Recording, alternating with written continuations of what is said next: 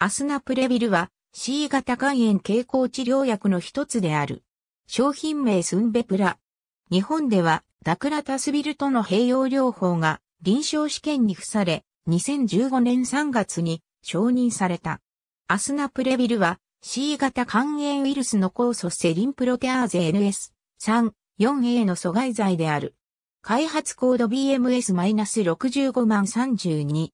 セログループ1の C 型慢性肝炎、または C 型大小性肝硬変におけるウイルス血症の改善、アスナプレビルは下記の患者には禁忌である。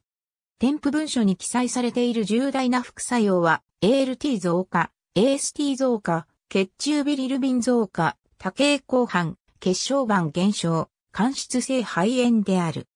これらのうち ALT 増加の発現率が17.4%、AST 増加の発現率が14.4%であるほか、抗酸急増加症、発熱、倦怠感、頭痛、下痢、悪心が5%以上に発現する。アスナプレビルはダクラタスビルとの併用のほか、ペグインターフェロンとリバビリンとの散剤併用療法が試験された。日本では大愛愛臨床試験のほか、次の大 E 愛臨床試験と大3愛臨床試験が実施された。インターフェロンを含む治療に不適格、シノバズ姿、無反応のジェノタイプ1の C 型慢性肝炎患者43名を対象にアスナプレビルダクラタスビルを24週間投与した。24週後のウイルス学的貯効率は76.7%であった。副作用発現率は93.0%であった。インターフェロンを含む治療に、的確のジェノタイプ1ビット未治療患者を対象に、ASV-DCV、または、イエフェン、RBV、テラプレビルを投与した。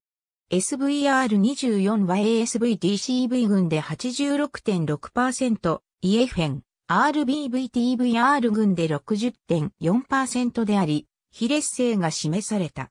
また、全治療再年患者に ASV-DCV を投与した結果の SVR24 は90.9%であった。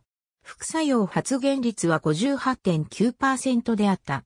ジェノタイプ1ビットの C 型慢性肝炎患者222名に ASV-DCV を投与した結果、SVR24 は84.7%であった。副作用発現率は57.7%であった。ありがとうございます。